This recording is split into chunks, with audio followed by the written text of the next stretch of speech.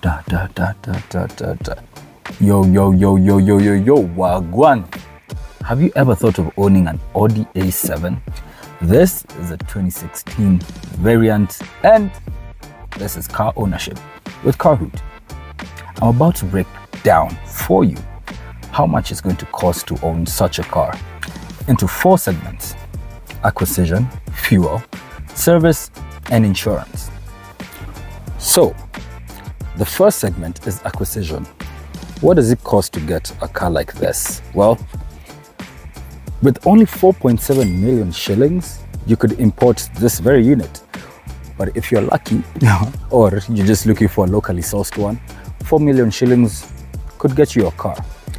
Part of that cost normally is CNF. So for like a car or this variant that's 2 liter, a 2 liter engine, you'd get it for the same amount but the CNF itself is 1.55 million.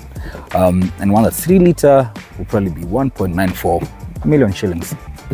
Not bad, not bad. So, the second most, if not the most important cost when you own such a car is fuel. How much does this car consume? I know that's a question on top of everyone's minds.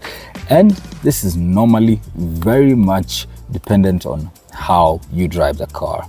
Are you a heavy foot? Do you do you speed often? Do you carry a lot of things as well?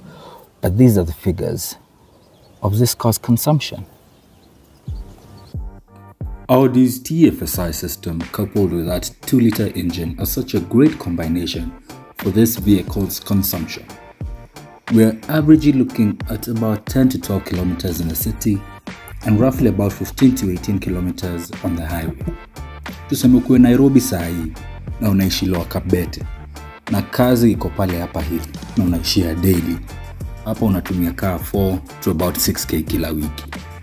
Ukiongeza mambo yako ya wikendi, labda tunafika about 20 to 22k kila mwezi.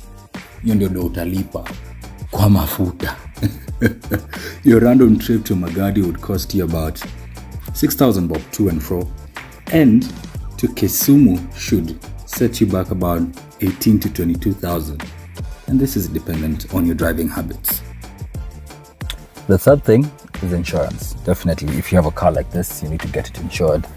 And currently, the rates are very, they're very similar, like across board. Um, so we could roughly give it like 4%. So 4% of the value of this car is how much you pay to insure it. So with the unit that we have here, you'll probably be paying around 170,000 annually. Hmm. So when you have a car like this, you definitely have to take care of it. This is a beauty. And you know, you and your mech wouldn't want to be best of friends. Lazima muone once once.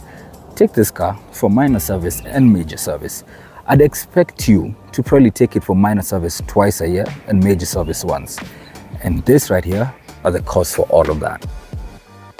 So, for service, you can have your minor and major service. And this includes things like switching out your oil filter, draining the engine oil and replacing it. And then with the major things, you could be changing your spark plugs, your brake pads, and all that good stuff. And with things like your air filter, that should be about 2.5. With things like the engine oil, that should set you back 7.5 if you're getting 5 liters of genuine oil. You need new spark plugs. It should cost you about 3 to 4k each.